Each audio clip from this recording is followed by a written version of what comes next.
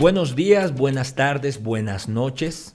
Estamos a través del canal de YouTube en un nuevo episodio de nuestro podcast del qué al cómo educativo. Hacemos este saludo general porque no sabemos en qué horario ni en qué fecha vean este podcast. En lo personal estoy muy contento, era una entrevista que venía persiguiendo desde hace algún tiempo y agradezco a Alejandra y a todo el equipo de la Red Ecuatoriana de Pedagogía, así como a nuestro invitado del día de hoy, quien ha aceptado. Estamos junto a Felipe Rodríguez, creo que es un abogado bastante conocido en el Ecuador, pero más allá de dar una descripción suntuosa de, una hoja de vida brillante, porque es extensa, eh, voy a centrarme en que es doctor en Derecho Penal, que tiene una calificación cum laude, enhorabuena, es decir, que es un gran investigador. Y luego que tiene una maestría en creación literaria, que creo que es la segunda pasión que mueve a Felipe. Es abogado litigante, le encanta litigar. Justamente nos comentaba que llegaba de la ciudad de Ambato. Escritor, consumado, nueve obras. He ido a comprar libros de derecho, no está en mi biblioteca el derecho como tema principal, pero, pero el autor así lo ameritaba. Y luego también dedica su, su tiempo en formar a estudiantes, es catedrático universitario, entiendo que en varias instituciones de educación superior acá en el Ecuador. Estoy contento, realmente nótese mi cara de felicidad, porque admiro mucho su mente. Y creo que es uno de los abogados prometedores que tiene el país. Y sabemos que tenemos una generación que alzar y construir un nuevo Ecuador. Y creo que Felipe es parte de esa generación. Felipe, muchas gracias por la entrevista. ¿Cómo estás? Muy bien, muy bien. Feliz de estar aquí. Listo para que preguntes todo lo que quieras sin límites. Perfecto, me encanta. Tengo una primera pregunta. Por supuesto. Si, si tuvieras que sopesar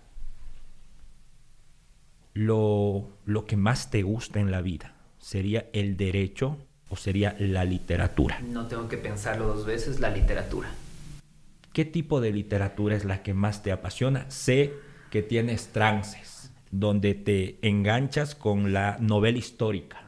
Y luego que ahora entiendo eres un, un pesimista consumado porque Schopenhauer está en tu ADN, pero que después tendrás otra etapa. ¿Cuál es la literatura que más te apasiona? Tengo etapas. Hoy por hoy estoy en la novela negra, estoy muy metido en novela negra. He ido descubriendo autores maravillosos, libros maravillosos.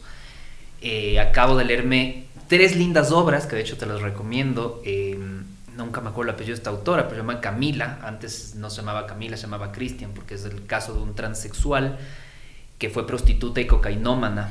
Y cuenta su historia y cuenta la vida de la gente trans en Córdoba, Argentina. Eh, creo que es Camila Villora el, apellido, hoy con su, nuevo, con su nuevo sexo.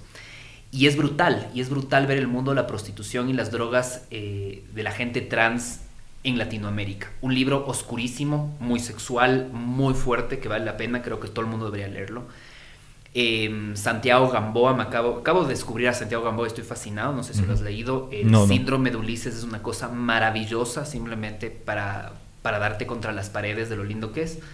Y también acabo de terminar eh, temporada de huracanes, huracanes de Fernanda Melchor, una mexicana que para mí en su texto eh, iguala en calidad así, a Crónica, una muerte anunciada de, García Márquez. Lo iguala en, la técnica y es maravilloso. Pero estoy en, novela negra, estoy medio oscuro últimamente. Bien. Eh, ¿Cómo te identificas más? Eh, ¿Te gusta más cómo escribe Márquez o, el peruano Vargas Llosa? Le prefiero, a ver, como persona, le prefiero a Vargas Llosa, porque más yo soy tipo de derecha. Bien. Y bien de derecha y me caen pésimos los de derecha normalmente, ¿no? Porque creo que nuestra derecha babosa es repugnante. Eh, además, yo soy un tipo de derecha ateo, que no cree, soy un tipo de derecha pro aborto. Tus libros lo demuestran, pues siempre, siempre estás incluyendo eh, tu defensa al ateísmo. Soy, eh, siempre defiendo el ateísmo, pero creo que es mejor escritor el Gabo. lo, que, lo que logró el Gabo es algo maravilloso. Además, yo creo que todo lo que escribió el Gabo es maravilloso. Vargas Llosa tiene sus librazos, mi libro favorito de él es Casa Verde. Conversaciones de la Catedral me parece un libro maravilloso. Eh, hasta La Fiesta del Chivo, pero creo que tiene libros muy célebres como Cinco Esquinas que están muy mal escritos. O sea, parece escrito por una persona sin ningún tipo de experiencia en literatura. Pudo haber sido un librazo, no lo es. Y Vargas Llosa tiene esos, tiene unos destellos de brillantez y otros que no son tan buenos. Obviamente ya me quisiera ser Vargas Llosa, ¿no? Pero me pusiste a compararles. ¿Con quién me quedo? Con el que es perfecto. El Gabo es perfecto. Perfecto, a mí yo me quedo con Vargas Llosa. ¿Sí? ¿Has visto eh, o has leído la última novela que saca Jaime Bailey, que es una investigación que se llama Los Genios? Que describe este famoso puñetazo, trompón o bronca que se genera entre Gabriel García Márquez y no Vargas lo leo, Llosa. No lo leo, no lo leo aún. Eh, me voy la próxima, el próximo mes a España y es uno de mis, está en mi listado, lo voy a comprar. Léelo, está fantástico, Buenísimo. porque realmente tiene una investigación muy interesante. Eh, hay un texto de Vargas Llosa, la tía Julia y el escribidor, porque claro, tenía unos arranques sexuales interesantes Vargas Llosa y en una época eh, rodeada por la editora que era de los dos, que hacía eventos en Barcelona y todo, y que está rodeada también por la parte ideológica, que muchos creen que era un distanciamiento ideológico, pero es una novela que vale la pena leerla, así como que descubrí hace poco a Elvira Sartré, una joven brillante, es de España, que tiene una novela que ganó hace poco un premio, se llama Día sin ti, es una novela breve, fantástica también. Eso en el campo de la literatura, pero bueno, explícame tu teoría. Todo de, el derecho penal es el derecho. Todo lo demás en derecho no existe sin el inicio del derecho penal. A ver, yo he ido cambiando un poco de postura. Es decir, el- los libros que veo que tienes de ahí son de un Felipe Rodríguez más joven. un- Totalmente, Claro. del 2012, 2013. Así es, es un Felipe Rodríguez más inmaduro, pero no me arrepiento de decir lo que yo sostenía. Lo que pasa es que a mí el derecho penal me parece maravilloso, me parece que es el verdadero derecho. Yo les suelo preguntar a mis alumnos, cuando ustedes decidieron estudiar derecho penal, mejor, derecho penal, cuando ustedes decidieron estudiar derecho, ¿qué era un abogado para ustedes? Cuando estaban en cuarto curso, sexto curso. Y la respuesta es Hollywood. Hollywood, cuando Hollywood te decía eh, o, te, o te presentaba a un abogado objetando preguntas, interrogando, contrainterrogando un testigo, les decía siempre que se está resolviendo la muerte de alguien. Eso se está resolviendo. Nunca se está resolviendo un ilícito tributario o nunca se está resolviendo un derecho constitucional o, un o nunca uno ve una película de Hollywood, me refiero de tenencia o visitas de, de derecho de familia. Uno siempre piensa en el derecho como el derecho penal. Y hasta el día de hoy nunca un estudiante mío me ha dicho cuando yo les pregunto, ¿tú sabes que en sexto curso existía el derecho aeronáutico o el derecho de aguas o el derecho municipal? No, ¿qué era el derecho? El derecho penal. Claro, todos pensamos en el derecho como el derecho penal. Claro, la vida te va dando vueltas, ¿no? Y al final terminas dándote cuenta que te puede apasionar y gustar muchísimo más otra rama del derecho. Eh, pero yo sigo pensando algo, aunque me critiquen muchos cuando yo digo esto, y es que eh, el, derecho penal es la esencia del derecho, es decir, es, el verdadero abogado es el penalista, pero por supuesto que el derecho penal depende de otras ramas. Nada se puede definir. Yo siempre digo que el mejor penalista es el mejor civilista. El penalista está obligado a saber civil, porque el derecho civil es la base del derecho penal. Cuando una norma te dice el que mate a otro será sancionado con, la pregunta es ¿qué es matar? Para saber qué es matar hay que saber qué es estar vivo, para saber dónde, cuándo empieza la vida hay que ir al Código Civil. Cuando te dice un delito como la persona que de forma violenta despoje a otro de su posesión del dominio, la pregunta es qué es posesión y qué es dominio. ¿Qué es despojar? Tengo que ir al Código Civil. El Código Civil es la base del penalista. El gran problema del Ecuador es que los penalistas no conocen el Código Civil y el penalista que no conoce el Código Civil en realidad no es penalista. He escuchado que tú defiendes que el abogado que es abogado no tiene que acudir a un texto. Así es. ¿Mantienes esta postura? Hasta la muerte. Y suelo despecharles a los alumnos con eso y suelo empezar diciéndoles, si todo lo que yo les cuento en clase no lo sabían ya, no nacieron para ser abogados. Tiene que, esto tiene que ser algo así, como lo decía Platón, ¿no? Decía que al final tú cuando naces y respiras, detienes de la primera respiración, absorbes el alma, yo no creo en el alma, pero absorbes del alma, pero realmente lo que haces en el trayecto de tu vida, decía Platón, es ir eh, recordando o adquiriendo, no, perdón, no adquiriendo, sino recordando el conocimiento que tu alma ya tenía. Si bien no creo en el alma, pero yo sí creo que el derecho es como cualquier otra actividad. Es decir, yo tal vez hubiese sido un pésimo arquitecto, pese a que me encanta la arquitectura, porque soy pésimo haciendo un vector. O sea, yo, si me más te pones a hacer algo físico, yo no entiendo cómo hacerlo. Y me ¿Eres hábil con las manos? Mm, Soy cero hábil con las manos. O, o tal vez pude haber sido un gran pintor, pero no te puedo pintar o- mm, o sea, para hacerte, si quieres que te haga un dibujo tuyo, haré un círculo, unos palitos, diré dos puntos y una sonrisa y ese eres tú. No tengo esa habilidad. Para ser abogado también se necesita esa habilidad. ¿Cuál es tu principal habilidad? Que yo sé la respuesta sin haber leído nunca la ley. Es decir... ¿Y cómo las aprendiste? Porque es lógica. Es decir, es como jugar fútbol. Entras a la cancha y eres es buenísimo. Es sentido común. Pero es sentido común jurídico. el sentido común lo tienes que y con el tiempo lo empiezas a leer. Entonces lo que tú haces es, te plantean un problema y te dicen, el problema es este, y tú tienes la respuesta. Sabes exactamente cuál es la respuesta. Y cuando te dicen qué norma está, le dices, no tengo ni idea, déjame abrir el código. Abres el código, resulta ser que la respuesta que tú dijiste estaba en el código. Eso es ser abogado. Ahora tienes otro gran grupo, que son el 90% de los que tienen título de abogado, que les pones el problema y se tienen que pasar 15, 20 días buscando la ley y eso no es ser abogado, porque el, derecho es mucho improvisación. Hoy día estuve en una audiencia donde mi contraparte dijo un argumento que yo no me lo vi venir. Y claro, me puso así. Y no abrí ningún código. Resolví. ¿Cuál fue el argumento? El argumento era una nulidad por eh, incompetencia del tribunal por un, un error en el sorteo. Yo no sabía que iba a decir eso. Yo nunca me preparé para buscar normas que establezcan cuál es el procedimiento de sorteo. Simplemente improvisé y vi que los jueces hacían así. Como que yo tenía la razón. No tengo ni idea en qué norma está lo que dije. Pero está, hay un principio que es el libre novit curia. El juez conoce el derecho. Yo no tengo, no es que si yo no digo el artículo, el juez no sabe el artículo. El juez está obligado a saber el artículo y tiene que resolver con el artículo. Por lo tanto, yo alegué algo, vi que los jueces sentían y que hice en regreso, fui revisando las normas, dije todo lo que dije iba con otra persona, tiene que estar en algún lugar. Leímos y estaba ahí. Perfecto. ¿Tú crees que el juez sabía? ¿O solo asintió por un gesto de cancherearme? Los, jueces en temas formales saben mucho más que los abogados, porque pensemos, están todo el día en audiencias. Es decir, yo, no, yo nunca estoy en un sorteo, por ejemplo, de juez. ¿Por qué? Porque no es mi función.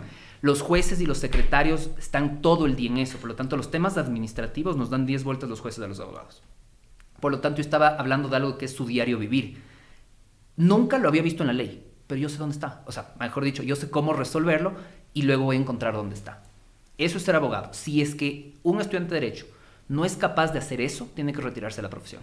¿Alguna vez te has perdido y no has sabido cómo reaccionar? Porque el sentido común, cuando tiene efectos de nerviosismo o te ponen contra la pared, o factores internos o externos confabulan para que la seguridad de la que la formación nos ha dado eh, pueda, pueda de pronto una mala pasada? Nunca conforma el derecho, sí conforma los hechos. Es decir, y ese es el error, lo que siempre les digo a mis clientes, no me tienen que decir la verdad porque estamos con secreto profesional, tienen que decirme la verdad porque si me mienten o me ocultan algo, omiten decirme algo que era relevante y me lo sacan a reducir en audiencia, voy a tartamudear.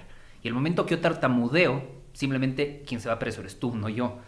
Sí me ha pasado, por supuesto, que mi contraparte saca un hecho, no derecho, un hecho para el cual yo no estaba preparado y tengo que regresar a ver a todo el mundo y decir, ¿y eso de dónde salió? Entonces ahí es más fácil atorarse un rato, ponerse a toser y que en la audiencia hasta ver qué hago, esto no me lo vi venir, pero es un hecho, no es del derecho. ¿Cuál es la película de abogados que más te gusta? No veo películas. ¿No ves? No veo películas. ¿Cine? Nunca. Nada. Hace unos 16, 18 años que no veo una película. Me recuerdas mucho una serie de Netflix que yo estoy viendo. No veo tampoco mucho, pero cuando hay momentos depresivos y no quiero saber del mundo, pues veo series. Se llama La Ley de los Audaces. Eh, el personaje, este abogado que se llama Harvey, tiene una obsesión con siempre ganar. Percibo que quizás tú podrías tener un símil con este personaje. No, Te gusta siempre ganar. Me encanta ganar, pero muchas veces pierdo. Y pierdo ¿Pero porque... ¿Cuántas veces has perdido? Muchas no es muchas. Mi porcentaje es 93% casos ganados, 7% casos perdidos. Pero eso no es mucho. Pero hay otra forma de perder. Y eso es algo importante también que se debe entender. Y es, cuando mi cliente es culpable, yo le digo en esta mesa, yo no voy a defender tu inocencia. Yo voy a defender tu culpabilidad correctamente sancionada. Es decir, por ejemplo, te están persiguiendo por un asesinato, caso de la vida real de esta oficina, por una mala práctica profesional que es un delito culposo. El asesinato una pena de 24 años, el, homicidio culposo una pena de hasta 5 años. Le dije, yo te voy a defender, pero lo primero que voy a decir en la audiencia es que tú le mataste. Y si no voy a empezar así, búscate un abogado que diga que tú no le mataste, porque yo no miento en audiencia. ¿Qué ventaja te da iniciar diciendo que tu cliente es culpable? Que hago que ese hecho ya no sea controvertido. Ya no hago que todos nos concentremos en ver si mató o no mató. Sí, sí mató. Pero no le mató con un tiro en la cabeza. Le mató porque le dio un medicamento errado siendo médico. La pregunta es, ¿tenía la intención de matar? La respuesta es no. Y es más, los jueces con en el camino... Eso es un tema importante que suelo decir a mis alumnos. Los jueces saben quiénes son los abogados mentirosos. Los jueces saben quiénes les quieren jugar una mala pasada y engañar. Y ganar credibilidad es un tema importantísimo en el derecho. Cuando tú hablas y los jueces ya no dudan de ti porque saben lo que estás diciendo. Es decir, normalmente uno está buscando en qué, clase de trampa me quiere hacer el abogado. Los abogados son tramposos. Pero es bueno ganarte una buena credibilidad. Entonces empezar diciendo la verdad, como yo he empezado diciendo. La persona hoy debería estar viva. ¿Y saben por qué no lo está? Porque mi cliente lo mató. Pero mi cliente está siendo sancionado por un delito que no cometió. Sí cometió el, acto de dar muerte, pero busquemos el tipo penal correcto. Logré que se baje de 24 años a 3 años la, la condena. ¿Lo considero un triunfo? No, no lo considero un triunfo. Nunca considero un triunfo que mi cliente se vaya a la cárcel. Pero eso es lo que hay que hacer. Y cuando el cliente te dice, no, yo quiero que usted defienda que soy inocente, no lo voy a hacer. No me interesa. Yo defiendo la verdad. ¿Cuál es el caso en el cual tú sientes que has perdido? Ese caso que, que realmente te dices, es como una mancha a mi hoja de vida ganadora. Creo que no lo tengo. Creo que no lo tengo. Eh, ¿Siempre escoges casos en los cuales vas a ganar? No, muchas veces escojo casos en los que es casi seguro perder y les empiezo a dar la vuelta. Lo que pasa es que yo no siento, hasta hoy no me tengo que arrepentir de haber perdido un caso por mi culpa muchas veces me han ganado. Por ejemplo, eh, eh, recientemente, no puedo hasta decir los nombres, Homero Cepeda, gran abogado, Miguel Ángel Angulo, gran ¿Porque abogado. Ganó o porque me ganaron, yo no perdí. Yo no perdí, ellos me ganaron. Y lo que hice al final fue darles un abrazo y decir, un honor litigar contra ustedes, porque es un verdadero honor. Eh, no me voy cabizbajo. Otra cosa sería que yo me equivoque, ¿no? Que yo sea negligente y por mi negligencia pierda. El día que me pase eso, creo que me voy a deprimir muchísimo. Cuando te deprimes, ¿qué haces? No me deprimo. ¿Tienes una personalidad obsesiva, compulsiva? Sí, pero... ¿Puedes tender a la depresión? Hasta el día de hoy nunca he sentido depresión en mi vida. Nunca. Puedo decir que no... ¿Ansiedad has sentido? Todo el tiempo. Soy un tipo súper ansioso. ¿Has tenido que tomar medicación para controlar la ansiedad? He tenido que tomar medicación para controlar la ansiedad. Por, sobre todo porque yo como, como desahogo mi ansiedad haciendo deporte. Soy un tipo extremadamente deportista. Me levanto todos los días 5 y media de la mañana, incluidos los fines de semana. Soy un tipo que no duerme. ¿Por qué leíste el club de Robin Sharma? No, no lo he leído, entonces no sé qué me estás hablando. Es un libro de levantarse a las 5 de la mañana. De hecho, basa su teoría en que todos los triunfadores en la vida inician su rutina titánica a las 5 de la mañana. Yo la inicio para hacer deporte. ¿Por qué? Porque como muchísimo. Es decir, soy un tipo, justo estaba hablando con un amigo mío que me invitó a comer y le dije, acuérdate que soy un cerdo, ¿no? Yo como por 5. ¿Qué comes? ¿Qué te gusta? ¿Cuál es tu comida favorita? Me gusta comer bien. Eh, mi comida favorita es la coreana. Creo que es la mejor gastronomía del universo. Amo la comida coreana pero como por cinco. Es decir, yo como muchísimo. Pero no parece. Porque hago mucho deporte. Yo no hago deporte para mantenerme en línea. Yo como deporte para no ser obeso. Porque con el nivel de... Te estoy hablando de... Ya no, no soy un tipo que le gusta mucho la pizza. Artesanal napolitana. Pero en su tiempo yo comía Domino's Pizza, el Pizza Hut. Y estoy hablando de comerme tres a cuatro familiares yo solo, ¿no? Solo. Es decir, ¿cuántos familiares? Cuatro para mí, gracias. ¿Cómo lo haces? Trago o sea, soy un tipo que come mucho. Y soy un tipo que no le sufre en las invitaciones. Si un día me invitas a comer a tu casa, yo voy a sufrir mucho porque no hay suficiente comida para mí. Y, y, es vergonzoso porque ya me acabo el plato y quiero otro. Y quiero otro. Y quiero otro. Me encanta comer. Algún día vas a tener que visitarme y vamos a preparar un gran banquete. Me parece muy bien. Invitas a 10, yo me encargo que no vaya el resto de personas, voy yo solo y te quedas con toda la comida que sobra. Perfecto. ¿Es verdad que boxeas? Boxeo. Hasta que tus dedos sangren? Antes sí, porque sangraban, hoy ya no sangran, se han ido haciendo callo. Antes, antes yo, yo, boxeaba para sacar la ira, sigo boxeando casi todas las mañanas. Em, y más que nada boxeaba para eso, para, para, sacar la ira de la profesión, porque sí da mucha ira esta profesión, ¿no? Tienes que lidiar con gente increíble y con gente idiota. Eh, y sangraba. Hoy ya no sangro. No, no, creo, yo tengo la teoría que se me dice callo, porque golpeo igual de fuerte ¿Sentías satisfacción al momento de sangrar en vez de dolor? Eh, Sabes que no me dolía por la adrenalina, pero me sacaba y era como que las vendas eran pegadas a la piel, era como que, ah, ya otra vez. Era es, llegado a ser incómodo en reuniones, ¿no? Porque te sientas con todo esto lleno de costras y los clientes te quedan viendo como, o sea, la firma ningún problema, ¿ves? Te quedan, la movilidad, nada. Las manos temblorosas, sí, siempre me quedan temblorosas en las mañanas. Pero llegar a una, a una audiencia, a una reunión con un nuevo cliente, con una multinacional y estar destrozado los nudillos, te quedan viendo como este qué clase de pandillero es, ¿no? Y es como que boxeo en las mañanas por hobby. No soy, ni siquiera soy un buen boxeador, ¿no? Soy un tipo que, seguramente boxearé mejor que los que no boxean, pero soy un tipo que boxea más que nada porque lo disfruto, para sacar ira eh, y para hacer deporte, pues es un deporte increíble. ¿Te consideras un abogado exitoso? Sí, me considero un abogado exitoso. Me ha ido bien. Por mérito propio, además. Luego vamos a hablar un poco de eso que me intriga. ¿Cuál es tu rutina? Cuéntame un, día, una semana resumida en la, en la vida de Felipe Rodríguez. ¿Cómo has alcanzado el éxito? Porque los éxitos son hábitos, estaremos de acuerdo. No pierdo el tiempo. Es decir, yo creo que uno de los principales elementos es ese. Yo me levanto todas las mañanas a hacer deporte. 5 de la mañana inicias.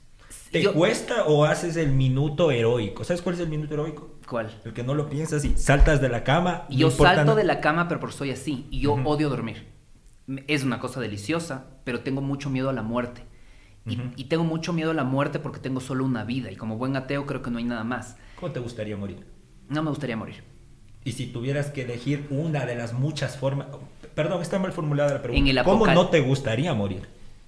cómo no me gustaría morir eh, de, con un cadáver ensangrentado y desastroso. Mutilado. No, tengo problema en morir lentamente, es decir, dos horas de sufrimiento mejor, así estoy esperando la muerte. Eso de morirme fulminantemente y no darme cuenta de nada. Si ya me voy a morir, al menos quiero saber que me voy a morir. Algo que me trauma en la muerte es la gente... quieres una muerte épica. No, no épica, puedo morirme solo en un baño, no hay drama. El tema es que yo no quiero que sea una cosa que estoy hablando hoy día contigo y en una hora me da un infarto y me muero, ya no, ya no estoy. Es, no, no, no, no me vengan con esa cosa. Al menos me enteraré que me estoy muriendo. Yo sí quiero enterarme que me estoy muriendo. El o sea, si te da un cáncer y sabes que en cinco años te vas a morir. Me da tiempo para organizar mi vida, me da tiempo para hacer un testamento, me, da tiempo para pensar en mi muerte. Nada de que venga de golpe. Eh, es una diferencia con mi padre. Mi padre siempre ha sido un infarto durmiendo maravilloso. Dice, ¿cómo? ¿No te parece tierno eso? No, horrible. Horrible, ¿no te das cuenta que te moriste? No. No, no. Estamos 5 de la mañana, te levantas. ¿Dónde haces ejercicio? lunes, miércoles y viernes en el Atahualpa. Tengo un lindo grupo de box que les quiero mucho a todos. Y martes y jueves y muchos sábados hago pilates, que yo siempre me, me, burlé me burlaba de mi esposa, ¿no? Porque decía, te vas a tus estiramientos. Yo hacía todos los días box y me decía, ven un día pilates conmigo, hago aquí en la Wimper. Ediluz, gran entrenadora. Em, y claro, decía los estiramientos, una cosa 100% femenina, el comentario machista, ¿no? Las mujeres hacen pilates, soy el que más tiembla, el que más sufre, el que más suda y el que menos puede en la clase de pilates. Me parece una cosa maravillosa y una gran combinación con el box. Hago eso. ¿A qué hora regresas a casa? ¿O ya no 7 de la mañana, estoy ya en la casa. 7, 7 y cuarto. Eh, me baño, desayuno y si no tengo audiencia, no tengo nada, me quedo normalmente en mi departamento hasta las 10, Pero 10 tengo y una pregunta antes. ¿Cuál es tu desayuno? Porque si comes mucho, ¿y cuál es tu desayuno favorito? O sea, dices, hoy me voy a consentir, quiero que sea un gran día, voy a tener una gran audiencia, me veo genial, este no me, gusta. No, me gusta desayunar. O sea, me parece, eso del desayuno es la comida más importante del día, es la más aburrida. No, no me gusta desayunar porque no me gustan los dulces. Yo soy un tipo, en cambio, de no dulces, soy un tipo de sal. Entonces, algo así como pancake, tostadas francesas, no me das nunca en la vida, no me lo voy a comer. Y soy más un tipo huevos con tocino. Es más, yo siempre hago esta broma. Digo, soy un ateo que, la, que cree que la única prueba de que Dios existe es el tocino. Porque tú comes tocino y dices, wow, algo tiene que existir. Ahí arriba, como, ¿quién inventó esta cosa tan maravillosa? Pero me gustaría comer lo que eh, desayunar lo que almuerzo. O sea, yo me comería un bife chorizo o una pizza una hamburguesa de desayuno feliz, pero no por salud, obviamente, desayuno huevos revueltos con jamón, queso. Eh, café, pan. Café sí, eh, en mi máquina tengo, mi, tengo algunas máquinas de café. no como pan en el desayuno porque como muchos carbohidratos. Luego, decir, sí, sí trato de tener un poco de conciencia en lo que como, pero después de desayunar me quedo al menos una hora y media leyendo. antes de salir necesito quedarme leyendo literatura y luego salgo a trabajar. O sea, digamos que esto de 8 a 9 y media lees. De 8 a 10. De 8 a 10. O sea, de 8 y cuarto a 10 más o menos. Siempre. Siempre y cuando no tenga audiencia. Por eso, esto me van a matar los clientes si es que en este podcast, cuando me dicen, podemos reunirnos a las 8, les digo, no puedo. 9, no puedo. Empiezo desde las 10. Pero no es porque esté ocupado, en verdad es porque estoy leyendo. Y es sagrado para mí. ¿Y qué aporta la lectura en esas dos horas, en tu día? Eh, creo que te da más de éxito profesional.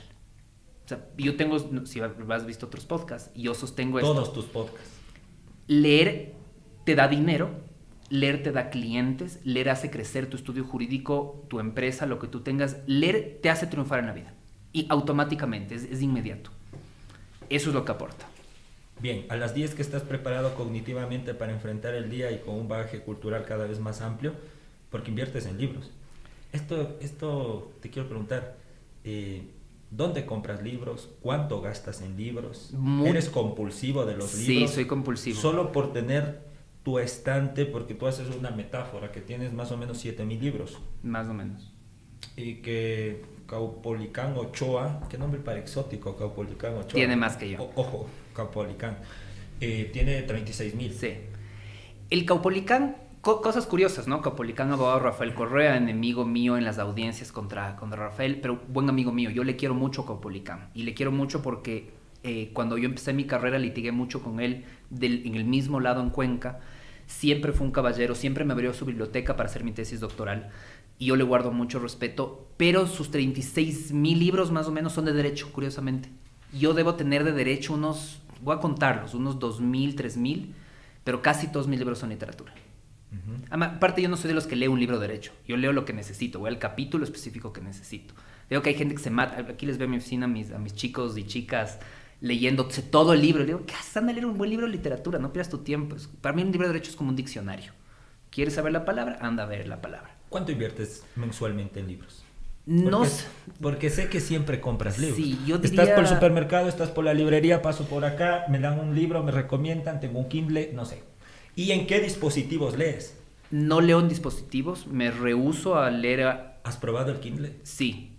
Tres hojas, me quiero meter un tiro y busco el libro real. No puedo. No puedes. No puedo. A mí me encanta el Kindle. Me parece fantástico, sobre todo cuando estás como Pero no rechazo. Es como tener, una novia por internet, esa cosa. Es como que le amo, pero me veo por Zoom. No. Los libros se tocan. Bien. Eh, y se huele. También. se huele. El, libro es para tenerlo, tocarlo, ver la calidad. Rayarlo. No lo rayo. Le pongo pestañas de colores en las partes que me interesan. Rayo los libros de derecho, los rayo, los resalto, los escribo. Los de literatura no. Soy súper temático con eso. Em, ¿Cuánto invierto? Eh, ¿sabes qué? una cifra. Yo creo que un salario básico mensual, unos 450 dólares o 400 dólares al mes. He tenido problemas conyugales por eso, pero algún día tuve una...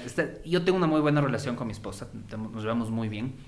Y nuestras peleas siempre son tontas, pero tan tontas que apenas estamos peleando nos reímos. ¿Pero eso no es el amor? Sí, sí, reírse de la pelea, pero por ejemplo algún... o de las peleas tontas. cuando empezamos la relación y yo llegaba con libros, se enojaba y me decía, en serio, mira todo lo que no has leído. Yo le decía, oye, no son drogas, no es alcohol, son libros. Entonces, pasaba algo igual. Claro, entonces déjame tener este déjame vicio. ser feliz. Déjame ser feliz y se siguen acumulando los no leídos. Yo no los pongo en estantería si no están leídos. Para mí es un pecado eso de, mira mi super biblioteca y la preguntas, ¿y cuánto estás leído? A la mitad, no, no. Los que están colgados, los que están puestos ahí como un trofeo, una obra de arte, son los que están leídos. Si no están guardados ahí escondidos. ¿Planeas tener una biblioteca más grande que la de Caupólica? Sí, pero sí me gustaría, pero tengo una crisis últimamente existencial y es que me gustaría vivir en unos cinco países diferentes en lo, que me queda vida. Dime cuáles. Quisiera vivir en Corea, quisiera vivir en Japón. A ver, vamos puntualizando. Corea por la comida. Corea por la comida, Japón por la cultura. Creo que me gustan los lugares que te rompan esquemas. Eh, pero Japón es depresivo, ojo. Pero yo no, entonces de que Japón se deprima, yo me alegro. Hay mucho suicidio en Japón. Sí, sí, yo sé, pero no soy de esos, así que estoy tranquilo. Bien. Eh, España, amo España con mi alma. Eh, ¿Te has formado ahí? Me he formado ahí. Me he formado académicos están ahí. Están ahí. Alemania me, me parece una cosa hermosa. ¿También por tu formación?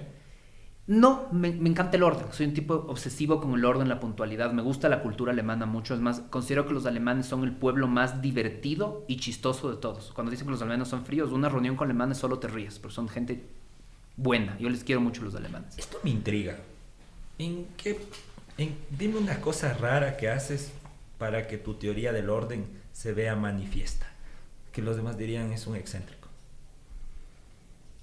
Puf Está difícil esa pregunta, no sé, creo que vas a tener que preguntar a los demás de eso, que seguramente en esta oficina te darán mil y un temas míos. Sí, pero quiero que me lo digas tú. Cosas del orden, no, no, no sabría decirte. O sea, soy ordenado, pero no hago nada excéntrico para ser ordenado, simplemente pongo las cosas en su lugar. ¿Qué te irrita? Me, irrita la impuntualidad, eh, me irritan las faltas ortográficas hay palabras que odio además. yo tengo en esta oficina un listado de palabras prohibidas. Nadie les puede mencionar. Les digo siempre, ni las pueden pensar. Yo sé que las están pensando. ¿Cuáles? Por ejemplo, la palabra indicar. Indicar. Me parece una palabra espantosa. Lo único, la única indicación que yo acepto es la de un policía o un transeúnte que te indica una dirección o la indicación de cómo tomar un medicamento. Pero indicar, manifestar, otra palabra espantosa. No puedo con la palabra manifestar y con cosas como yo soy un tipo irritable en restaurantes. Cuando un mesero te dice, esa carne tiene lo que es una salsa de champiñones con lo que es un acompañamiento, ¿cómo que con lo que es? No puedo con la frasecita esta de lo que es. Me mata. ¿Y qué haces ahí? ¿Qué le dices? Evita esa frase. ¿Respiro? No, no, le dejo su vida. Yo no me voy a meter en cómo habla, pero es como que y ya estoy así. Es como que, ok, pido y ya se fue. Soy súper temático con el vocabulario. Y aquí les critico mucho con el vocabulario. Les digo, esas palabras están prohibidas, esas palabras no las describen, no las dicen. Yo siempre digo, y con respeto a los policías, que uno no debe hablar como parte policial. Y el abogado suele hablar como parte policial. Me supo manifestar que a las 4 de la tarde supo venir y le indicó que es como que, ¿por qué hablan así? Somos abogados, seamos, escribamos un poquito mejor, seamos más literarios al escribir. ¿Pero los abogados leen literatura? No, no leen literatura los abogados no leen. Eso, esa mentira de que si estudias derecho tienes que leer mucho, mentira, no leen nada. es verdad. Pero en el Ecuador tampoco leen. En el Ecuador se lee muy poco, muy poco. Cuéntame, ¿en qué país nos quedamos? En Alemania. En Alemania. Me falta un quinto que no tengo ni idea cuál. Veamos que me gusta en el futuro. Debería ser Finlandia. Podría ser. ¿Te podría gustar todos los países de por allá? Podría ser, podría ser. Tal vez algo a no sé, hay, habría que ver. Por ejemplo, en un país que amo es Cuba. Cuba es uno de mis países favoritos en el mundo. Me parece fascinante, he ido más de una vez, lo he recorrido en auto, amo Cuba. Me da mucha tristeza la Cuba pobre, la Cuba comunista, pero es un país con potencial impresionante. ¿Tú crees que sin bloqueo Cuba fuera una potencia? No, no sería una potencia, estarían mejor si le echo un poquito de culpa al bloqueo. Eh, pero el comunismo siempre te iguala hacia abajo, no te iguala hacia arriba, no te hace que todos estén bien, te hace que todos estén mal, pero igual de mal. Bien, he leído en los últimos cinco días tus tres libros, es Marquito quien me acompaña en la conducción testigo, no he parado de leer tus libros, siento que algo sé de derecho penal, antes no sabía nada. ¿Tú crees que tu teoría que planteas sobre el escenario de que escribes para que todos lo entiendan es verdad? Sí, porque mis libros no solo son comprados por abogados, sino por personas que no estudiaron derecho y me suelen entender. De hecho, hay libros más complejos que los que tienes de ahí, que son mis, mis manuales, y ahora estoy escribiendo un tratado procesal penal. Y es los tres tomos. Los tres tomos azules, por ejemplo, es teoría del delito, es, es derecho penal puro. Me iba a meter en camisa de once varas, porque no es... Está escrito para todo el mundo. Puede, yo siempre digo, si alguien no sabe qué estudiar en la vida, dale mis libros a un estudiante de sexto curso y va a entender de principio a fin y no va a tener dudas de lo que está leyendo. Hay, hay autores por no decir que son casi todos los autores de todo el mundo que escriben para hacerse los interesantes. Es decir, te pueden decir lo mismo en una oración sencilla y te meten un párrafo, buscan, yo siempre, siempre digo que los, los abogados lo que hacen es poner el clic derecho de Word y buscar sinónimos y ver la palabra más difícil y poner esa porque son cool, ¿no? Son súper cultos. No, no es mentira, no saben ni lo que significa la palabra. El abogado hace eso. Yo siempre digo, un, un escritor de derecho es un tipo del mouse derecho de Word y el sinónimo difícil derecho tiene que ser sencillo, tiene que ser explicado fácil para que todos entiendan, porque al final, si no, no escribas libros, al final lo que tú quieres es transmitir conocimiento y la forma de transmitir conocimiento es haciéndolo fácil. Me interesaba el estado infiltrado. A ver, compré intencionalmente los libros, nada es casualidad. Ese libro lo escribí a los 23 años. Me gustan tus fotos, son, son vintage. Ajá, son súper vintage. O sea, es con barba, con otro tipo de lentes, ah. con otro tipo de ternos. He visto tu evolución estética. He cambiado, claro. Totalmente. ¿Te sientes ahora más guapo?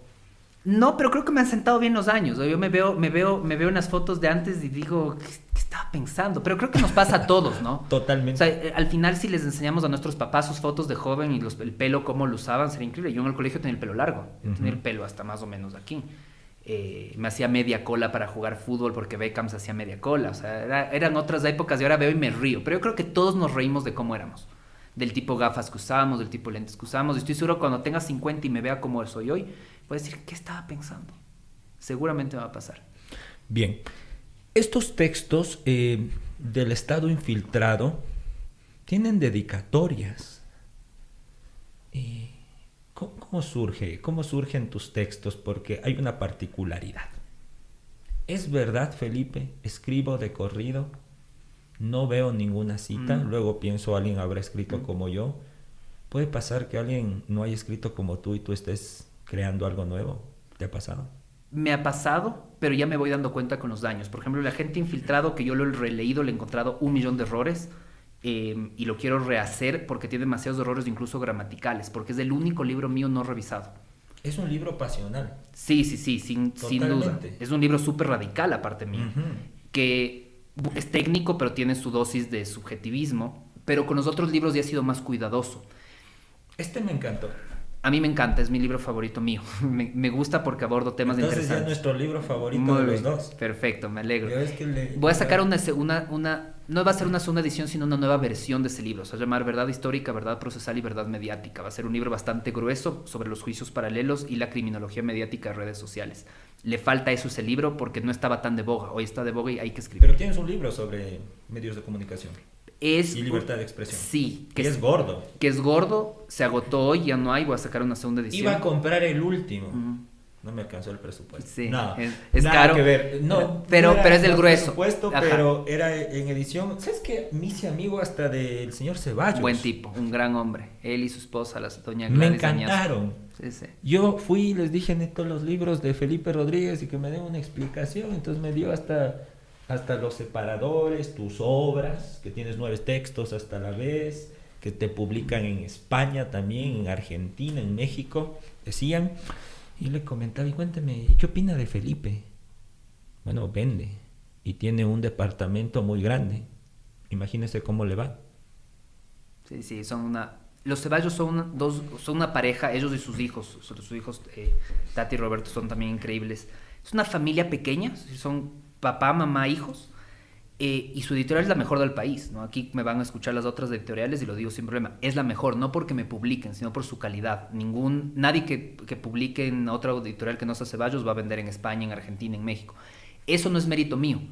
El mérito mío es escribir el libro, pero si yo no tengo quien se encargue de que eso suceda en otros países, no va a suceder. Entonces, ir caminando en, la calle Bárbara Braganza, en Madrid, por ejemplo, está Marcial Pons, y pasar y ver en vitrina tu Marcial Pons, la librería jurídica en habla hispana más grande que existe, más prestigiosa, y ver en vitrina tu libro, para mirar y decir, ¿y esto? Llamar al señor Ceballos, decir, ¿y esto? Ah, ya mandamos tu libro, está todo organizado con España. ¿Y cómo te sientes cuando sucede eso? ¿Cómo, cómo abordas tu ego? Tienes un gran ego. Sí, sí, tengo mi gran ego. Yo, yo, yo estoy a favor, yo creo que las, la, la, virtud, una de las máximas virtudes del ser humano es el ego. Eso cuando dicen, bájate tu nube, tu ego, es como que, ¿por qué haría eso?